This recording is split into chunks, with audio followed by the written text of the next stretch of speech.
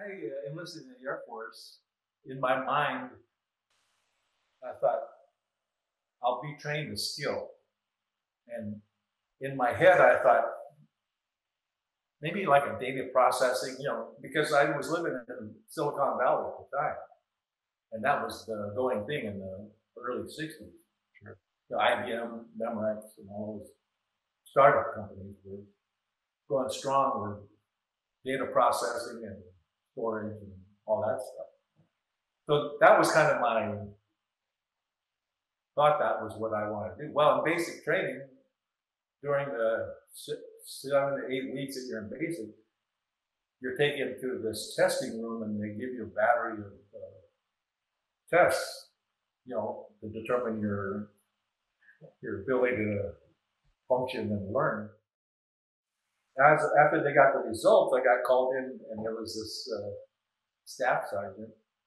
He goes, uh, Airman, Airman, your tests indicate you have an aptitude for language do you know any foreign languages? I said, yeah, I studied uh, German in high school for three years because I lived in Munich, Germany. He goes, how fluent are you? I said, well, I haven't used it in a couple of years. We got back in 63. This was 67. Unlike anybody else, if you don't use it, you, you lose it. He goes, okay, well, so then he set the hook. He goes, if you sign up for language school, most likely you'll go back to California to the Presidio Monterey. I see you you came from San Jose. That's that's a couple that's less than an hour and a half. You could be home every weekend. He goes, and then if you put German as your language of choice, you'll probably get it, you can challenge it, and you'll spend the rest of your service life, service time somewhere in Germany using the German language. That was a gotcha, right? So I said, okay. I signed the dream sheet, you know, and uh, once I signed, I waited for orders for language school. Well, when I got the orders, I got Korean. Hmm. So I went back to that admin sergeant and I said, I thought, he goes, well, he goes, that's what you wanted, but the Air Force already figures you already know how to speak German. We're going to teach you how to speak Korean. So at that moment, in the middle of basic training, I knew my remaining service time was going to be spent in the Far East.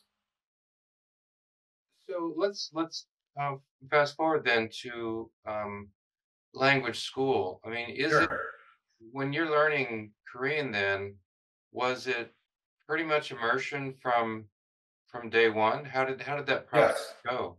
Yeah, they uh, it was just like kindergarten in, in you know teaching one two three ABC. I mean, it was total immersion where we were discouraged from speaking English. So they taught us the basic uh, conversational Korean, and I don't think it had a north-south uh, differentiation. It was just basic Korean. Oh, okay, so they didn't and, uh, focus on a North Korean accent or North Korean vocabulary or anything like that. Yeah, because because our instructors were predominantly from North Korea. Mr. Kim, he was from somewhere, not Pyongyang, but he was, he, he told us his background, and there was a husband-wife team, Louise. Then we had the head of the department, his name was Cho.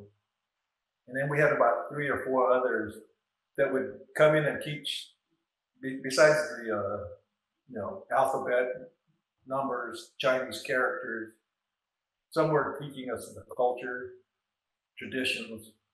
One guy taught us songs. Mm.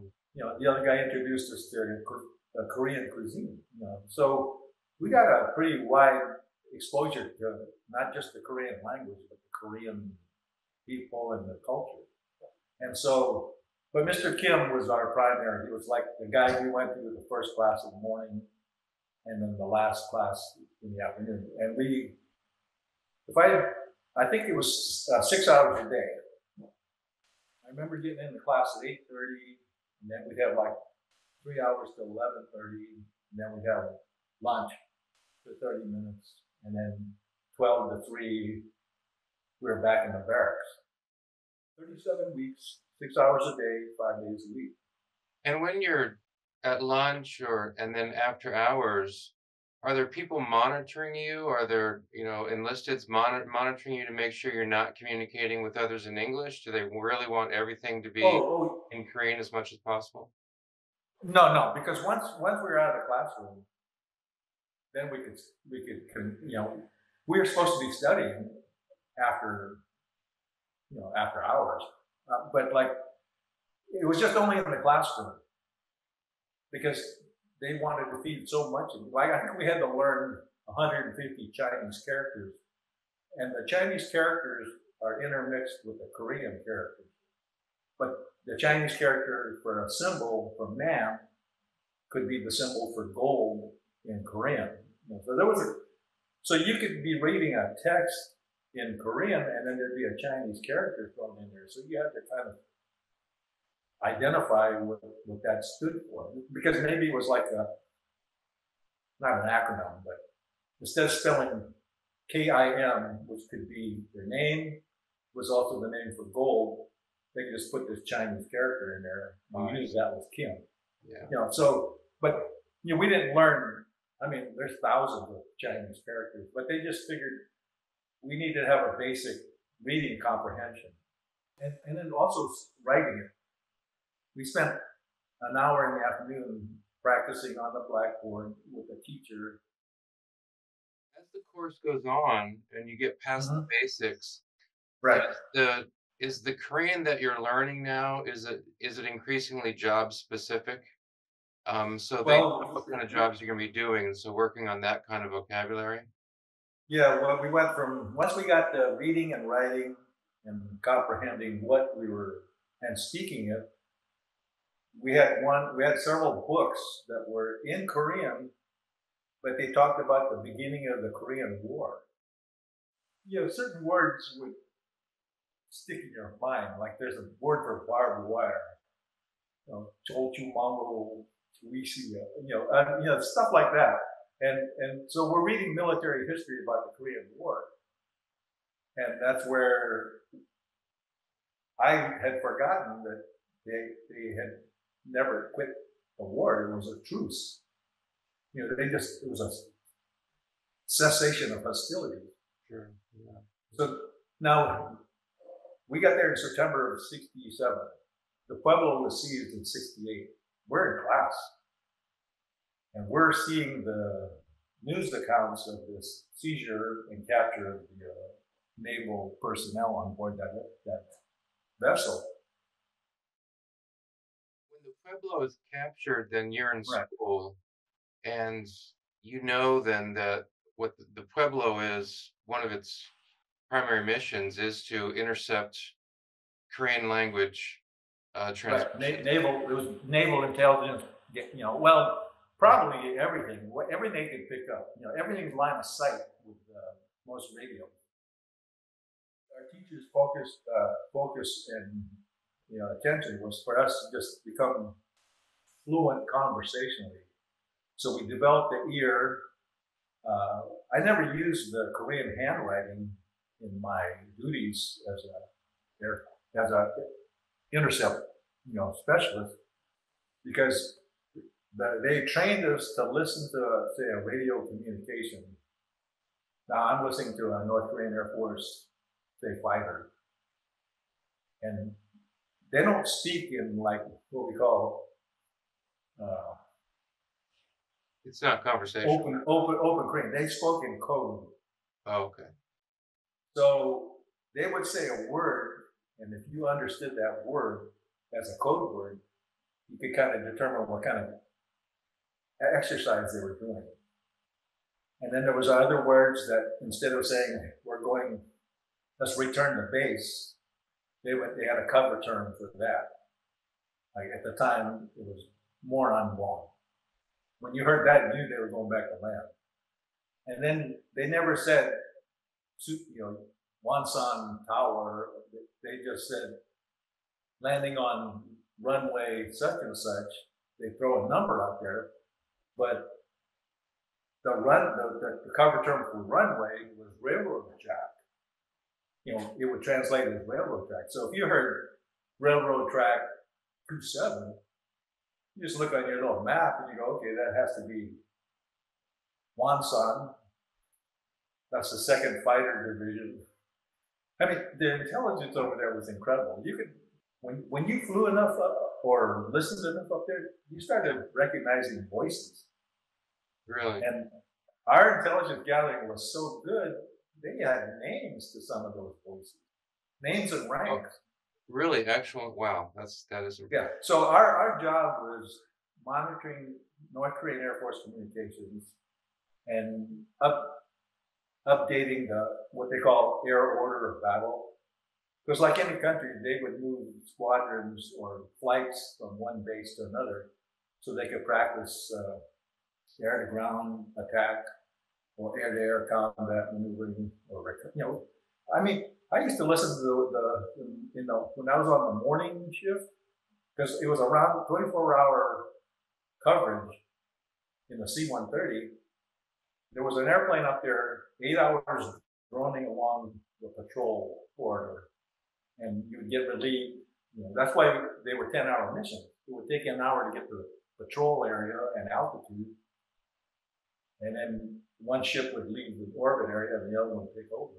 Then you'd go back and forth for eight hours, and then it'd be another hour back to recover.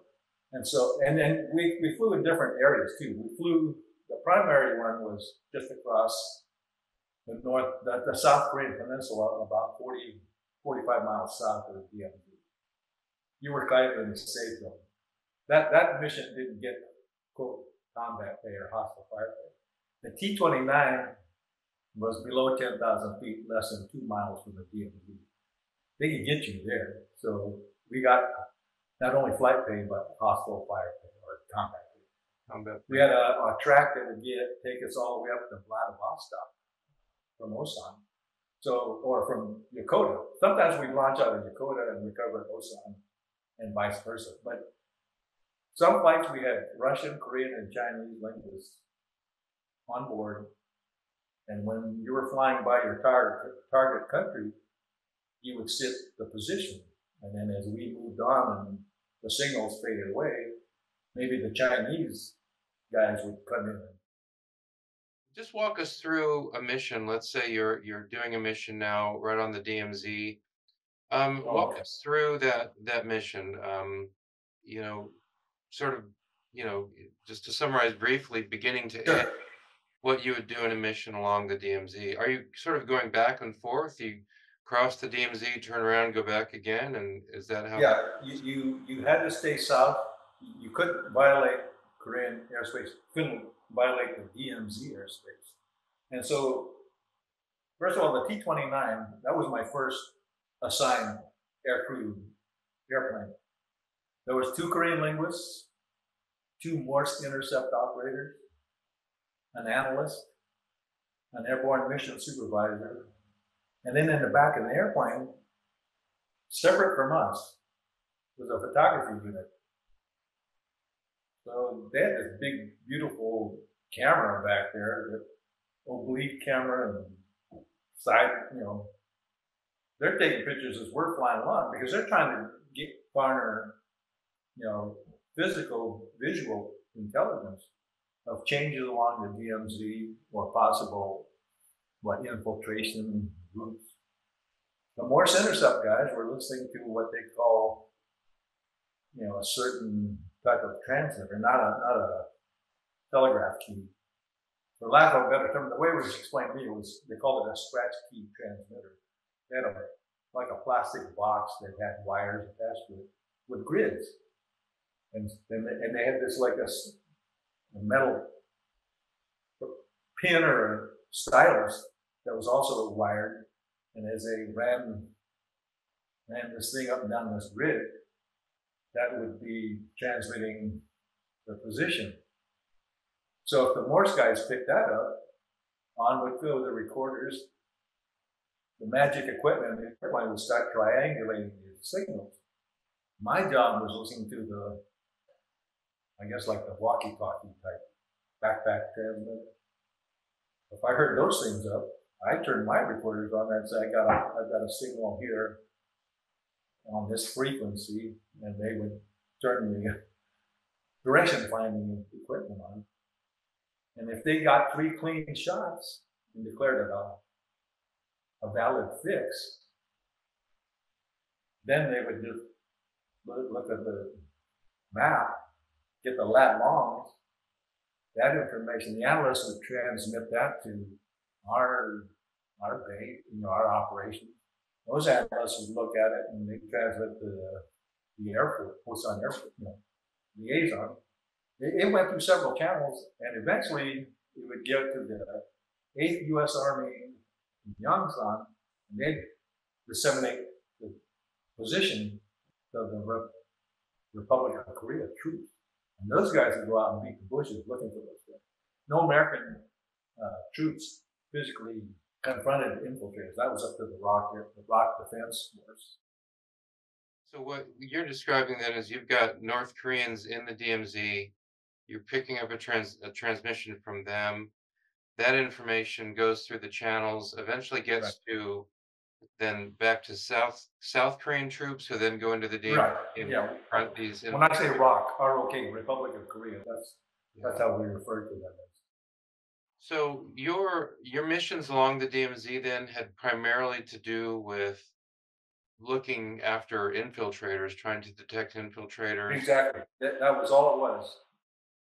They were sending them by ship across the DMZ on foot and submarines, you know, little little sampans or something. They'd land up on the coast. So I mean, that's why. And when I was there in '69, there was a, a curfew between 11 p.m. until I think 6 a.m. in the morning. If you were out caught wandering around, you would be treated as an infiltrator. You was bad news. So if you didn't make it to the gate at 11 o'clock, you better find a hotel or a friendly lady of the night to take you in. 'Cause They, they, they literally lock the gate. And if you try to climb over it, they treat you like an infiltrator, even though you're, you know, you've got your ID card. And, and if you if you showed up at the gate at 11:01, you better pray that that they didn't identify you because now you're AWOL or you're violating curfew.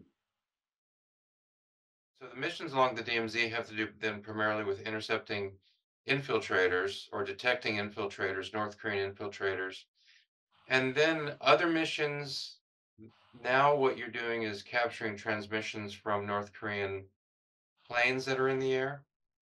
Yeah, the, when, when my initial training was for the ground site, all we were monitoring was the air communications. We could not hear the ground station. So if a guy was flying around, you know, there, there would be training going on, formation flying. That was humorous. Because the instructor, if these student pilots would almost kill him, and he'd be cursing at him in, in, in, in not in code, but he'd be cursing at him because you trying to kill me? I said turn right, you know, you know stuff like that. Or you could hear, you could you could identify by that their transmission. They're doing air to ground gunnery, air to air gunnery, or they're doing formation flying, or weather reconnaissance, or even fish spotting. You know, we started hearing this weird pattern, and and uh, finally they broke down the, the, the little single engine, you know, called the AN-2 Colt, the big old biplane flying around over the ocean, flying in a grid when they discover schools of fish. They get to send the fishing boats out there. This would be the North Korean pilots would send word that we've got a big school of fish down there. Yeah, And as you're hearing these messages, are you then you're translating them in your mind and then writing them down in English? Yeah, you can transcribe into English, and with the recorder going, when you landed, you didn't just go back to the barracks and start drinking beer. You know, maybe the next day you transcribe your own intercept stuff, and try to, you know, because in the as the airplane's moving along, you're covering, you know, whatever speed that thing is flying, and we're just going from one side of the peninsula to the other, coast to coast. You know, and Korea is not that wide. And and the, the missions on the T twenty nine were not very long. I think I think the longest one I was on was about two two hours because you you were flying low, below ten thousand feet, and you're flying only so many miles south of the DMZ, And we had, uh, the pilot, co-pilot, flight engineer, navigator up front. Then we had us, two, four, five, six. We had six, what they call security service people, the signals intelligence. Then we had the two photographers in the tail. So it was not a very big crew, but, Yeah. uh, and then they used visual reference, uh, electronic guidance, and then on board the airplane was a Doppler navigation system. A lot of times we aborted mission if the Doppler went bad, because that was probably the more precise uh, indicator of your position in reference to the, the line, the DMZ. Oh, I see. So if the Doppler went bad and there was cloud cover below and they weren't sure of their position, they did not want to drift into the North Korean Right. or the DMZ So area. as you're hearing these messages, then are there some things that are of immediate interest that you pass on immediately and other things that you say, well, okay, I'll transcribe that tomorrow? Are you having to make judgment calls about what needs to be reported now and what can, what's more routine and can wait till tomorrow? Yeah, well, I think, I think, uh, you know, that- this is fifty plus years ago. Sure. I think it was more like if we, we heard a hot signal, okay, I've got a live one. Because, uh, you know, they use different radios. They have AM, FM, VHF. I don't think they use UHF on the ground, but, but those backpack transmitters were limited in their uh, range. And i if we could get a hot fix that showed it was within that, that buffer zone of North Korean DMZ and South Korean DMZ. That's all we wanted. It was all a matter of position fixes. People who go to South Korea now, um, certainly people who go to Seoul these days are going to be struck by how vibrant and wealthy the place is, how, Yes. how incredibly clean it is, how vibrant, and wealthy it is. Um, what was that area like in in the late '60s? In 1969, when I got the Osan Air Base, dirty during, dirt and dusty during the summer and muddy and yucky during the winter. And those pictures I sent you of thatched roof homes and single story, there may be what, one or two two story buildings in that little village, you know, that it was outside the gate town that you find at most military facilities. Uh, uh, major red light district, you know, a lot of, you know, clothing manufacturers, shoes. I mean, I could buy a three-piece suit over there in '69 for forty bucks, tailored to me. And the only thing they asked me is when I picked out the material and the style of the suit that I wanted, was to go to the base exchange and buy U.S. thread. Because that would stand up and not unravel like their own homemade. Was weird. I had shoes made. You know, they take a pattern into your foot and you and pick up the style. Go down a week later, you'd have a new pair of shoes. We went. We, we were invited as a unit that detachment one sixty nine point second, we all we all had house boys. We had like uh, I want to say a 30, 30 man bay, thirty bodies in this wing. And you had one houseboy assigned to the wing, and and uh, the back complex I think had four wings. So there's four houseboys taking care of this one structure. And we'd gotten to know our houseboy, and the summer I, I was there, he was going to get married.